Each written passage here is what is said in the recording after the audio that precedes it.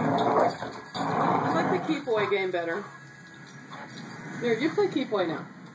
You go in circles.